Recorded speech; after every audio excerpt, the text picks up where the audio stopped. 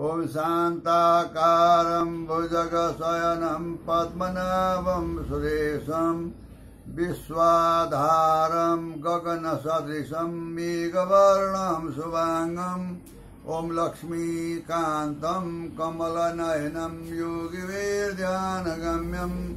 वंदे विष्णुं भवयर्णं सर्वलोकैकनाथम्। ॐ कर्पूरगौरं करुणावतारं संसारसारं भुजगेन्द्रारं सदा वसन्तं हृदयारवृन्दे भवं भवानी सहितं नमामि ॐ नमः शिवाय।